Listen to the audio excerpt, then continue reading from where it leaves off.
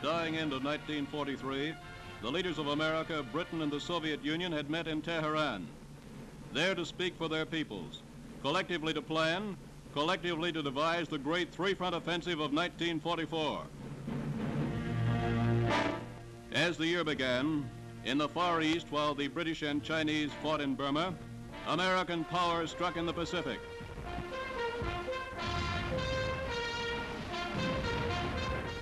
This was Kwajalein. Up in the Marshalls.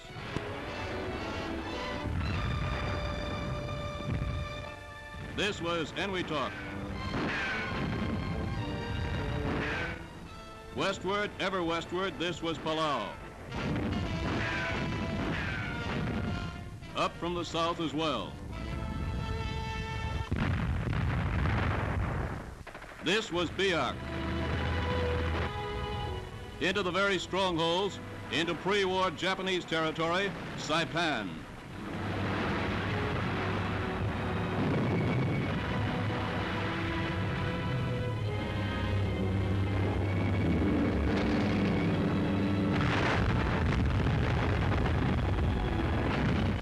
Into the old American bastions that Japan had taken, Guam.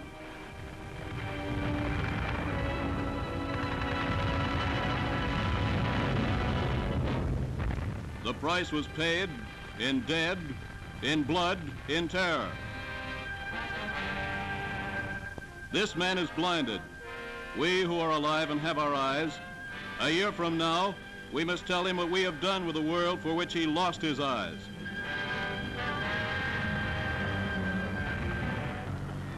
Nineteen forty-four.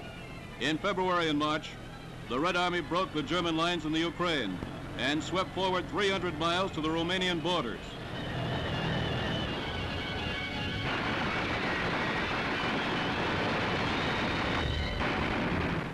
Here are the Germans who will never fight again.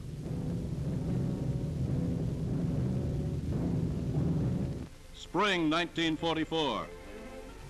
In their great British bases, the Western armies were massing the guns, the shells, the tanks, the trucks, the planes, the food stocks, the gasoline, spare parts, field equipment, mine detectors, medical supplies, and troops.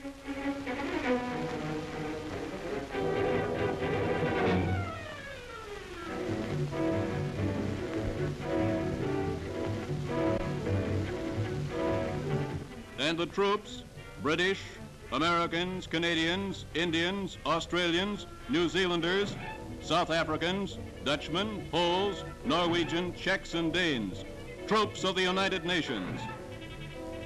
Troops who are the stuff of any invasion, troops who on their unassuming shoulders carry the whole world's hopes for liberty. At Supreme Headquarters, General Eisenhower gave the word on Monday, June 5th. The vast fleet taut for battle puts out into the darkening sea.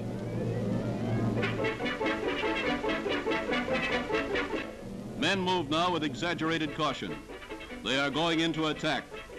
They are going into the seawalls, the barricades, the trenches, the guns, the vast emplacements that Rommel had called impregnable.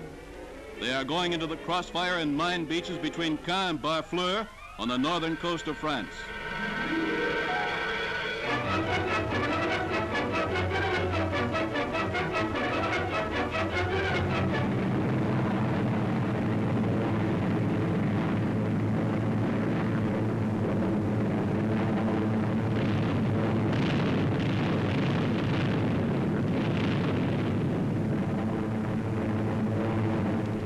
It is barely dawn. The troops have not yet landed on the beaches.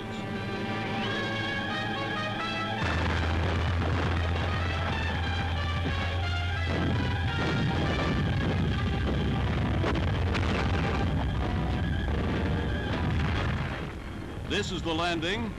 This is it. We are going in. And with this stroke, the people of Europe so long mute will speak.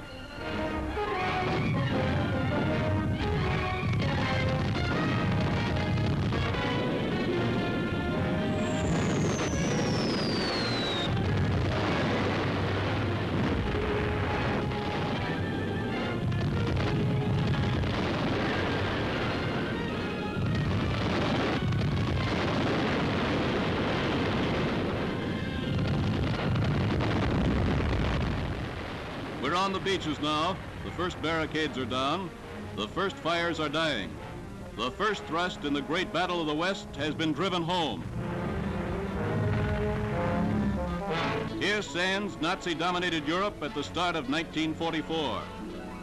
But in this one year, the Red Army in the East, the Allies in the South and West have marched from Cassino to Faenza, from Kiev and Leningrad to Budapest and Warsaw, from Cherbourg to the Rhine.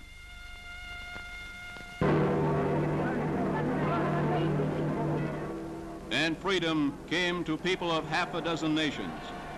And with freedom, controversy and problems to be solved with their own free hands. Rome, June 5th, 1944.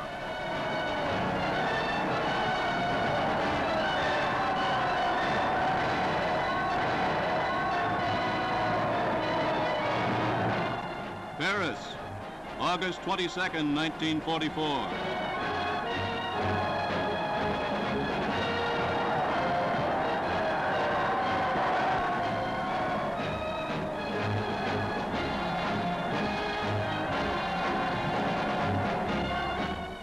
And in the east, Bucharest, August 31st, 1944.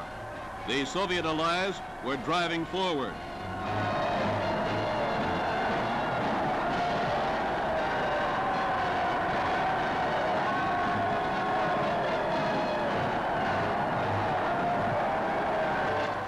In the West again, Brussels on September 3rd, 1944.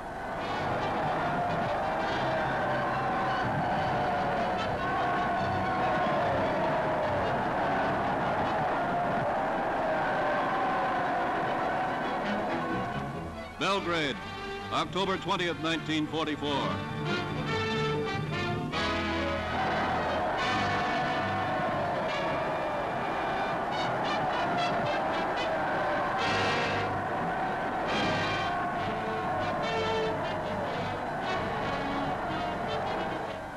On October 14th, 1944 to Athens. Freedom after years of suppressed faiths and shackled hopes. Greece is free. When the guns fall silent, Athens will be ruled by the law and government that Athens chooses.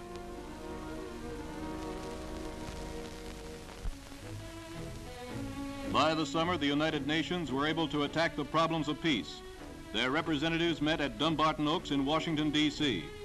In August at Quebec, Prime Minister Churchill came for a meeting with President Roosevelt, there to plan new moves, political and military. And in that summer of liberation, the people of Europe spoke so that the whole world listened. It was their war. They put new blood into the meaning of the word freedom. In America, the people spoke. President Roosevelt was reelected. Both he and his opponents had agreed that America must this time take her place in the Council of Nations. In the factories, the people spoke turning out the planes, the guns, the ships, the equipment still needed for the people's war. For the war was not yet won.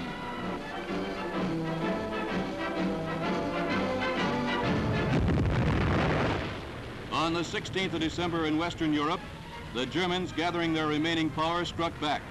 It was a sharp blow at the heart of Belgium. It was their answer to six solid months of defeat. But as the year ended, the attack was ground down. Pushing against the massed weight of Allied power, it slowed and wavered. In the new year, the Allied advance will continue.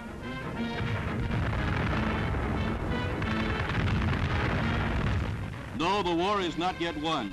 In the Pacific, too, we have come a long way. Guadalcanal, New Guinea, Tarawa, Eniwetok, the Admiralties, Biak, the Marianas, Palau, Morotai, and now the Philippines. We attack.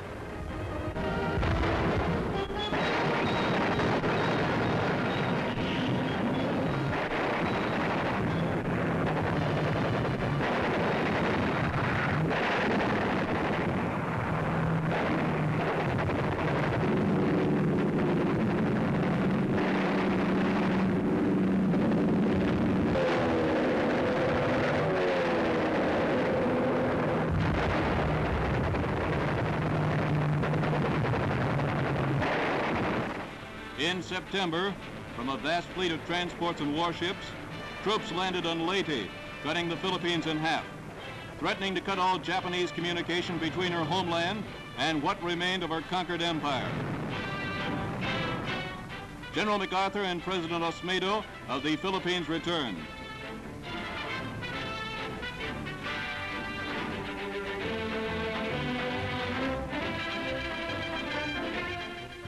1944 brought to a fuller realization many of our purposes. Our leaders have met again and again to speak for us, the people. And at the end of this year, President Roosevelt spoke many of our hopes when he said, the tide of battle has turned slowly and inexorably. We pray that with victory will come a new day of peace on earth in which all nations of the earth will join together for all time. May that spirit live and grow throughout the world in all the years to come.